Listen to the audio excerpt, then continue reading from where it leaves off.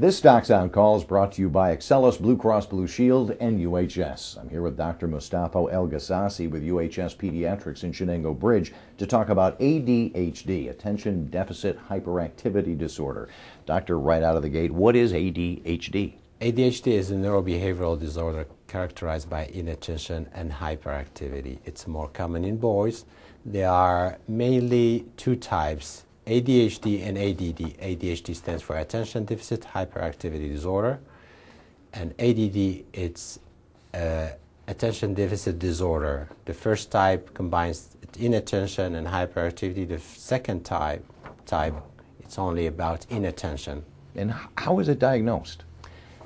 Pediatricians deal with it most of the time. They do screening questionnaires mm-hmm. that are filled by teachers and parents and also they review the academic performance of the child. Also, the pediatric psychiatrist, uh, school psychologists, social workers can uh, do this testing and diagnose ADHD. And how does the ADHD interfere with peer relationships among kids?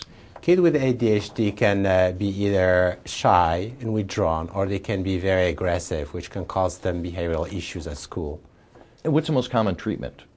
The most common treatment for ADHD is, are the stimulants, medications, Ritalin or Dexedrine.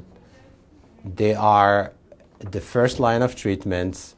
Other therapies like behavioral therapies uh, do help, but not uh, to the extent that uh, stimulants do.